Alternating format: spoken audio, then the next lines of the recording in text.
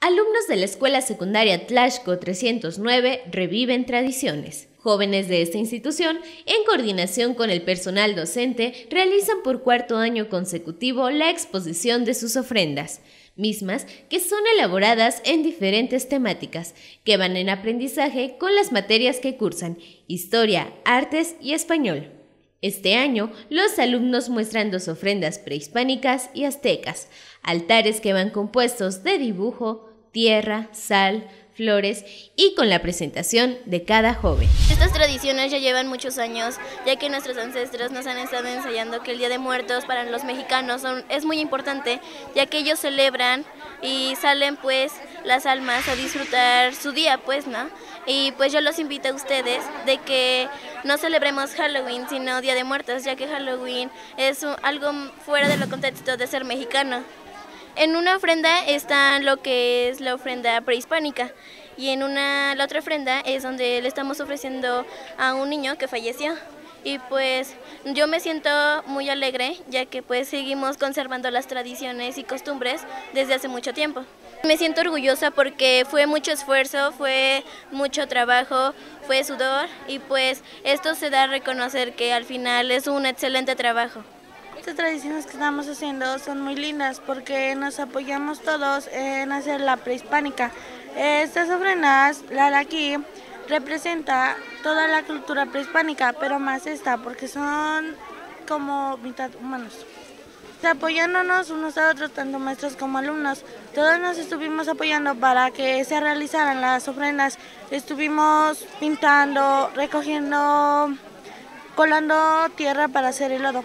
La revive mucho porque aquí es muy partícipe, porque todos los alumnos participan y les gustan hacer cosas junto con los maestros.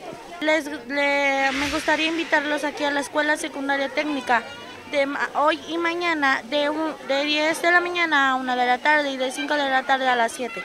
Es un orgullo estar presentando estas tradiciones ya que los estamos conservando y nos esforzamos mucho en realizarlas aparte de que es un tributo a nuestra compañera Karen, que lamentablemente falleció hace tres, meses aproximadamente.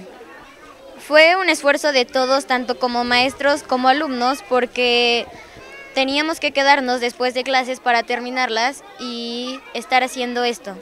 Me siento muy bien porque participando en esto no solo te sientes que estás realizando algo, sino que eres parte de una gran familia. Es muy lindo, sientes como un gran apoyo de parte de los maestros y de tus compañeros. Que conservemos las tradiciones tanto prehispánicas como actuales, porque es una cultura muy bonita. Es un orgullo estar aquí porque ya que cada, año se practican estos dos tipos de ofrendas, eh, no siempre es lo mismo, pero esto, esa, eh, la ofrenda que está con más colorida es prehispánica y también es eh, básica y esta es más prehispánica que representa azteca. Está muy bien porque es tanta originalidad lo que es la secundaria y la verdad sí no, nos gusta mucho. Muy orgullosa ya que estas tradiciones eh, se llevan casi más mejor a cabo aquí, ya que es como más de prehispánico, más tradicional. Eh, y otras escuelas es más como colonial.